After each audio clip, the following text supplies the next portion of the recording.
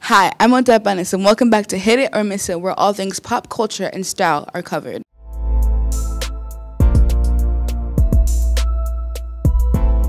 Recently, disturbing new details were released in a domestic abuse case between popular rapper XXXTentacion and his ex-girlfriend. X has been charged with aggravated battery of a pregnant woman, false imprisonment, domestic battery by strangulation, and witness tampering. Despite the public knowing of the case, X still has a large fan base and continues to have support from his fans. This trend has showed up in cases of other celebrities such as Johnny Depp, Chris Brown, Charlie Sheen, CeeLo Green, and many others. This brings up the question why do artists who have cases of domestic violence still have a large fan base? Does the music industry have an abuse culture or does it perpetuate it? I sat down with Marianne Winters, the executive director of Safe Passage, a social service organization for victims of domestic abuse in Northampton, to find out about the mental and physical abuse in a domestic violence case. The better question is why do people perpetrate violence in relationships? So I think until we as a society can go to that question first, we're not going to get an answer. But the you know the real answer from real life situations is again a range, similar to the range of impacts.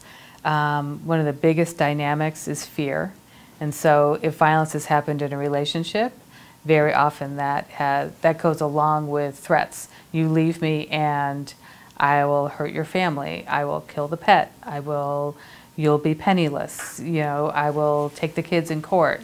And in the case of someone who has more power because they're a star in the music industry, um, I have the money to hire the lawyers to take your child away, to, um, you know, and sometimes there's even to like, you know, take out a contract on your mother, on whoever's. So, you know, abusive people are very good at finding out what the vulnerable points are and what's important to the victim and then threatening to take that away. Even after details of abuse cases come out, often artists continue to remain popular and still bring in revenue.